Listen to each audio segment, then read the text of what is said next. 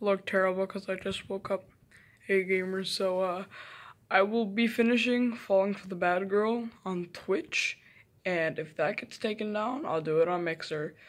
So, yeah, I thought someone invited me to an Xbox party. So follow my Twitch. It is Alias Ross one, and uh, I'll be streaming in like uh like ten minutes.